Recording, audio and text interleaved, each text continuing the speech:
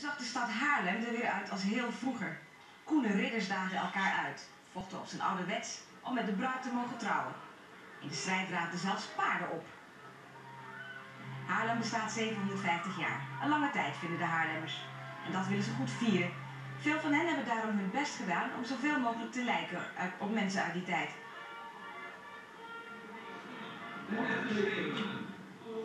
Alleen zo'n cameraatje, dat hadden ze toen nog niet.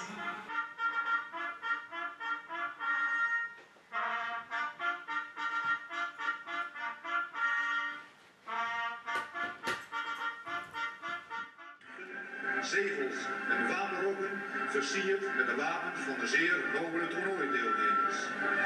Daarboven de Maréchal de Lies, de kamprechter, laat aan een iedere weten om zich niet te bewegen. Om geen enkel gebaar te maken, noch een beweging of een kreet die de strijders kan aanmoedigen of hinderen. De ridder moet met kracht het schild slaan en de knots ontwijken.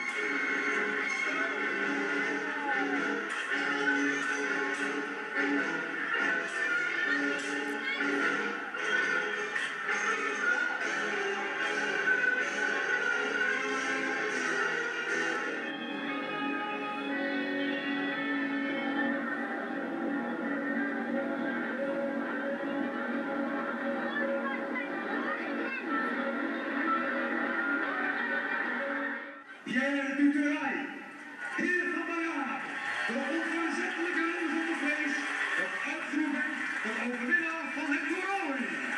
Nog even een fantastisch applaus.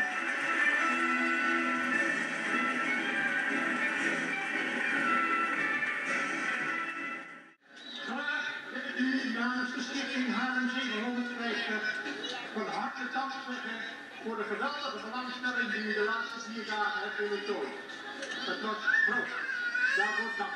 Maar erg veel dank natuurlijk ook aan degenen die het mogelijk hebben gemaakt dat we hier waren.